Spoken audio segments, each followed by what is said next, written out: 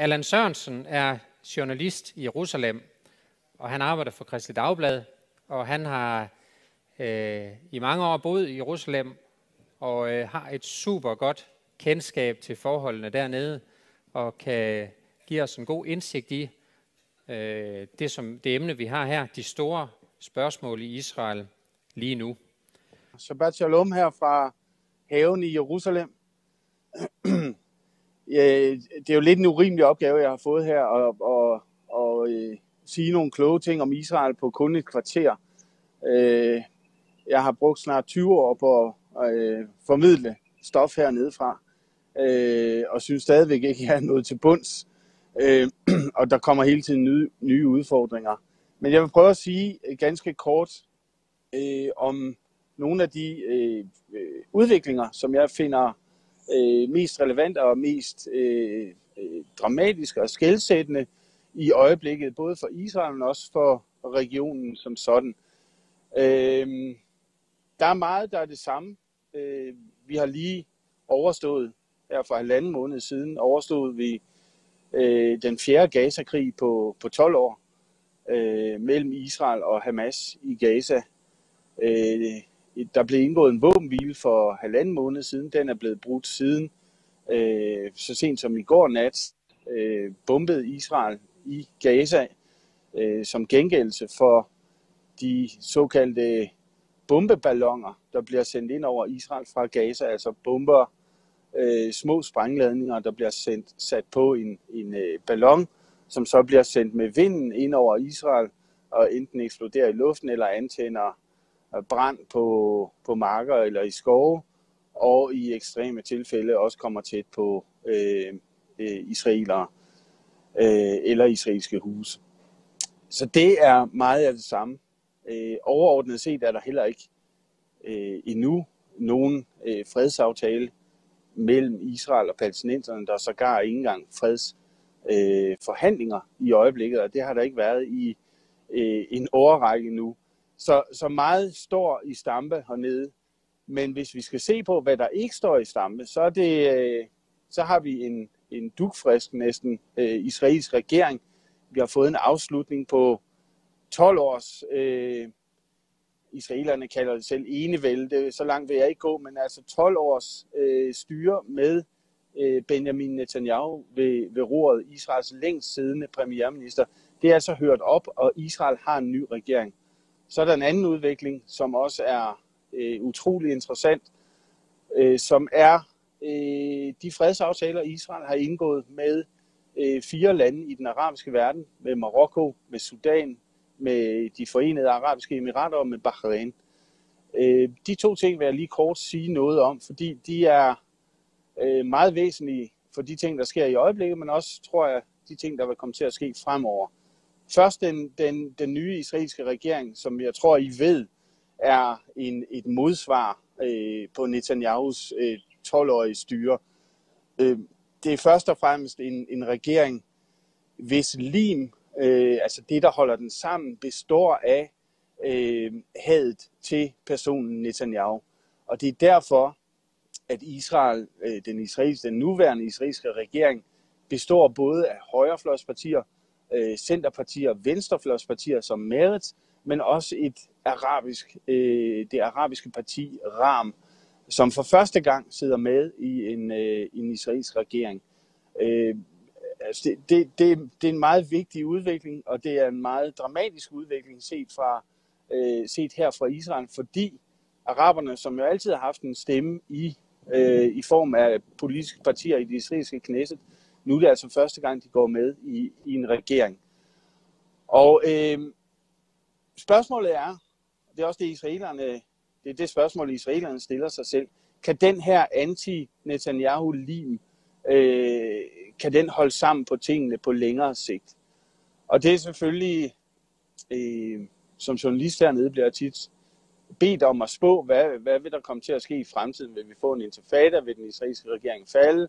Vil Israel angribe Iran? Vil Iran angribe Israel? Og så videre. Vi ved det jo selvfølgelig ikke.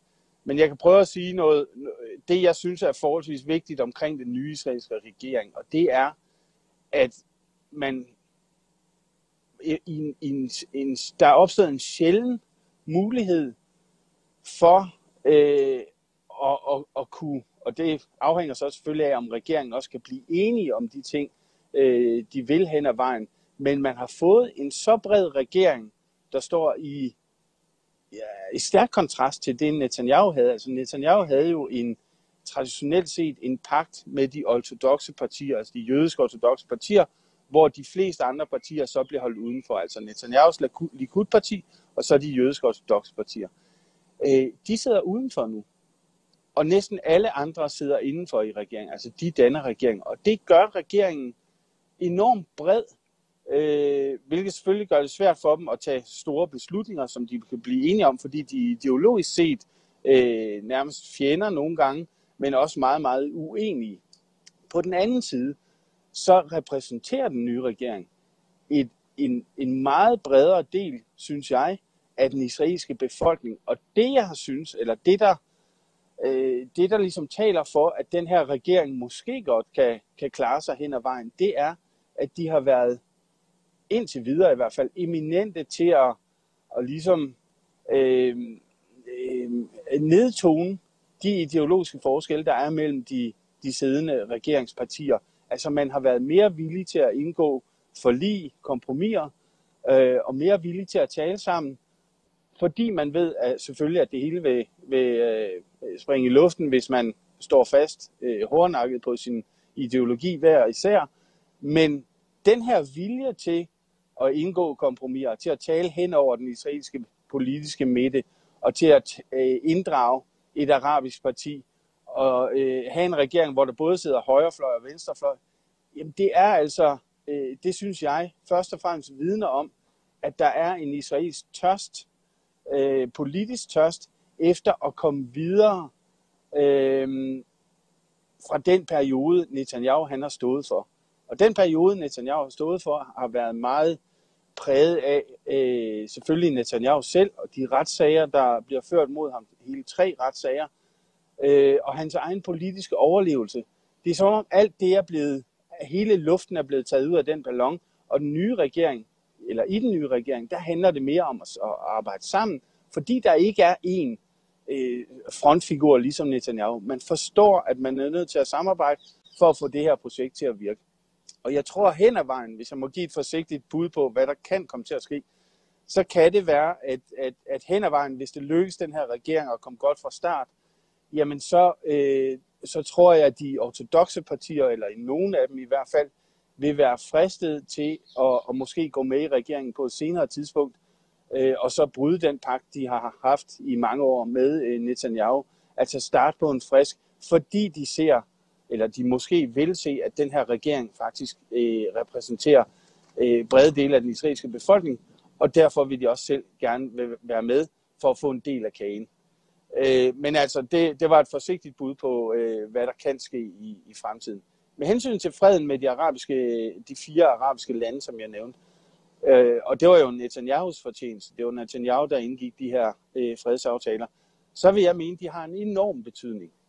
Øh, ikke mindst fordi, at de har været med til at bryde et, et mange år øh, diplomatisk tabu, kan man nærmest sige. Altså, i, diplomatiet har set på Israel og de arabiske lande og palæstinenserne som en opgave, hvor freden med Israel og palæstinenserne, den skal løses før noget som helst andet. Det har været formlen for fred i Mellemøsten fra amerikansk side, fra europæisk side øh, og fra international side i det hele taget. Her kommer Netanyahu så, eller kom Netanyahu så sidste sommer og brød den her formel med, med Donald Trumps hjælp øh, selvfølgelig. Men man fik etableret officielle forhold til arabiske lande, som man ikke tidligere havde haft officielle forhold til. Og årsagen til, at, at jeg synes, det er vigtigt, det er, hvad, hvad, hvad signalværdien er i det her, hvad det, hvad det fortæller. Det fortæller, at, øh, at den arabiske verden, som vi jo øh, har sagt i overvis, og som jeg synes er et dårligt udtryk, fordi der findes ikke rigtig nogen arabisk verden. Det er ikke det her øh, øh, flotte kludetæppe, der er bundet sammen af, af forskellige arabiske lande. Det er, øh, det, det er en kaotisk region, hvor nogle af landene, og det er de fire lande her, der er indgået en, øh, en øh, fred med Israel nu, de bryder den her øh, formel, der siger, at, at palæstinenserne står ikke længere øh, højere end os selv. Det vil sige i Dubai, i Emiraterne, i Sudan, der sidder man og tænker, jamen vi har vores egne interesser at tage os af. Vi vil gerne indgå en, en fred med Israel, fordi vi har klare øh, tit og ofte økonomiske interesser i det, men også diplomatiske interesser. Og vi vil ikke længere holde os tilbage, fordi øh, vi skal værne om palæstinenserne, og fordi det er synd for palæstinenserne, siger jeg lidt groft. Men de tænker altså, at vi skal pleje vores egne interesser først. Og på den måde er palæstinenserne blevet skubbet lidt ud, øh, lidt er måske underdrevet, de er blevet skubbet ud på et sidespor, fordi palæstinenserne altid har lænet sig op af den her øh, formel, hvor man siger palæstinenserne først, og derefter den arabiske verden. Så jeg synes, at freden med, mellem Israel og de her fire lande er meget, meget dramatisk. Også fordi den måske signalerer, at flere lande vil, vil koble sig på øh, hen ad vejen. Men, og jeg kan se, at øh, tiden går hurtigt, og jeg skal forsøge at holde det, så, så, I, øh, så andre indslag hen ad vejen, de også øh, får plads. Men jeg vil sige øh, noget, noget ganske kort om tre øh, ting, som er øh, Israels, altså tre af Israels helt store udfordringer i øh, øjeblikket. Øh, øjeblik. Jeg skal lige opdatere os her. Ja, fem minutter tilbage, det er fint. Øh, de tre store udfordringer for Israels vedkommende er Israel selv, altså det israelske samfund og Israels egen identitetskrise, som jeg kort vil komme ind på. Det er selvfølgelig Iran, som det har været i mange år, og det er også øh, palæstinenserne. Øh, ganske kort, lad os starte med palæstinenserne. Hvorfor er palæstinenserne en udfordring for Israel? Israel har det jo egentlig meget godt med, med den situation, der er skabt i øjeblikket. Altså ikke fred og ikke rigtig krig. Der er lidt puffen til Gaza her og der, men det er ikke noget, der, der ligesom øh, får Israel til at vakle. Men alle tænker, øh, hvad vil der ske den dag, øh, Mahmoud Abbas, den palæstinensiske præsident, hvad vil der ske den dag, han dør? Han er, hvis jeg husker rigtigt, øh, 85, 84-85 år i øjeblikket, og han er ikke i, i bedste stand. Så man regner med, at han måske ikke har lang tid tilbage, og, og det gør palæstinenserne også, gør Israel. Øh, og mange spørger sig selv, hvad vil der ske den dag, han forlader øh, sin post? Øh, og det man, det man spår, eller det man frygter også fra Israels side, er, at der vil opstå et, et, øh, altså en, en intern palæstinensisk magtkamp, hvor palæstinenserne vil begynde at slås indbyrdes om, hvem der så øh, skal tage magten efter Mahmoud Abbas. Skal det være Hamas? Skal det være øh, nogle andre? Skal det være den unge del af befolkningen, som er meget utilfreds med Mahmoud Abbas? Og skal det være dem, der fører en lidt, en, ikke en lidt, en, en ganske hårdere linje over for Israel, der kommer til magten øh, øh, i, efter Mahmoud Abbas. Det, og det er som om hele situationen er frosset indtil det her kommer til at ske. Israel vil ikke tage nogen drastiske skridt. Palæstinenserne vil heller ikke tage nogen drastiske skridt, fordi de ved begge parter, at det alligevel vil blive sat på en, det hele vil blive sat på en prøve øh, den dag Mahmoud Abbas han ikke længere er palæstinensernes præsident. Så det er den første udfordring. Den anden det er Iran, øh, som jo er Israels ærkefjende og Israels store regionale udfordring. Israelerne køber ikke iranernes udtalelser om, at de ikke øh, forsøger at udvikle atomvåben, men at de har et fredeligt atomprojekt. Øh, israelerne følger nøje udviklingen i Iran, og det, der bekymrer dem mest, er ikke, at Iran, hvis de opnår atomvåben, vil bombe Israel dagen efter og, og forsøge at udradere Israel. Israel er nervøs for, hvilken magt Iran egentlig vil få, altså hvilken tyngde, hvilken, hvilken vægt Israel eller Iran vil få i regionen, når man har opnået de her atomvåben. Altså man vil være øh, vaccineret, for at bruge et, et udtryk, vi bruger meget hernede, øh, for øh, man vil måske være skånet for angreb, fordi man netop er en atommagt. Man vil være sværere at forhandle med. Man vil bruge sin atommagt status til at, yde, øh, eller til at øge sin indflydelse i regionen. Noget, som Iran jo allerede gør øh, ganske aggressivt øh, og har gjort det de seneste år i Syrien, i Yemen, i Irak, i Libanon.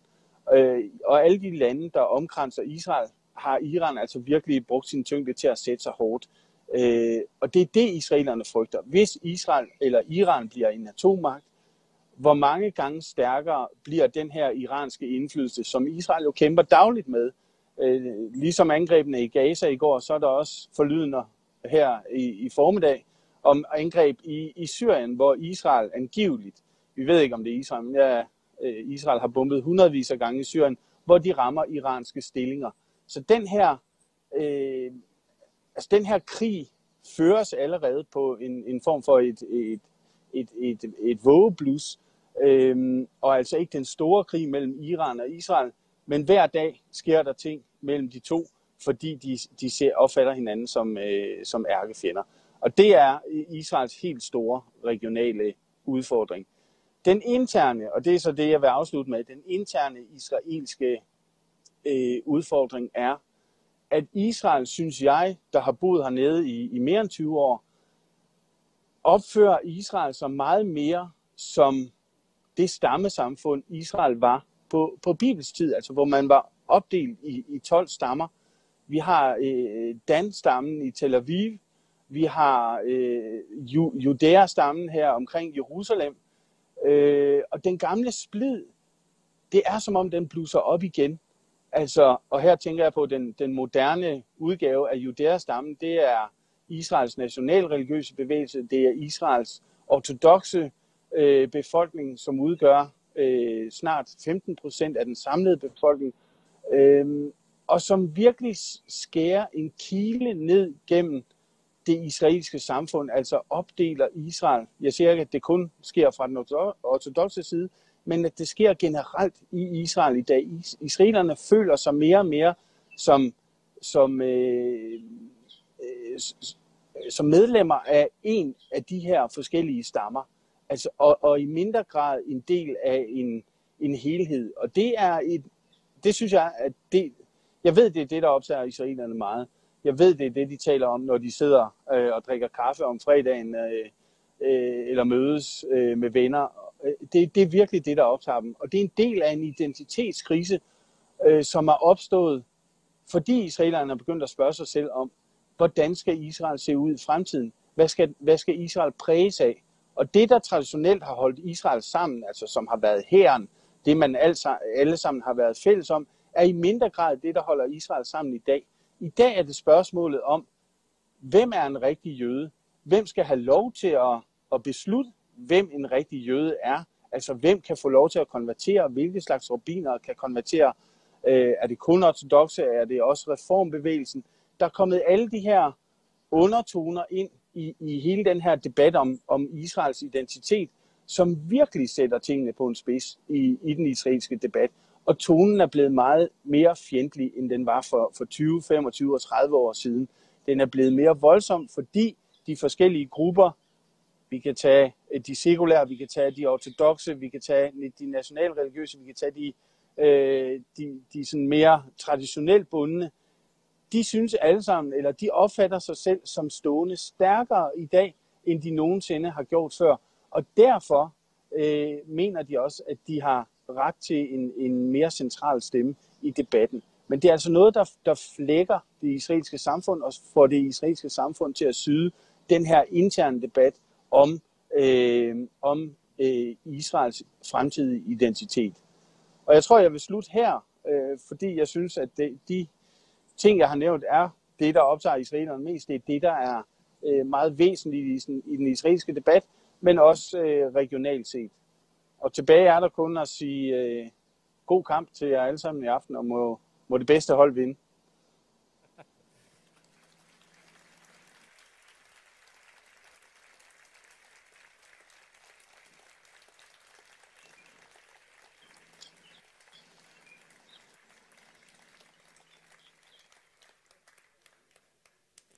Så fik han jeres tak her. Og øh, vi vil sige en stor tak til Allan Sørensen for det her indsigtsfulde indslag. Øh, det er en gave at have en mand som ham til at, at følge med i tingene dernede og leve dernede, og så kunne, øh, kunne bibringe os både viden og indsigt, øh, både nu her i dag, men også øh, gennem hans arbejde i øh, Kristel Dagblad. Så tak til dig, Allan. Det har vi var været rigtig lidt. glade for det her. Det var så lidt. Ha' det godt. Ja, og i lige måde, Shabbat Shalom.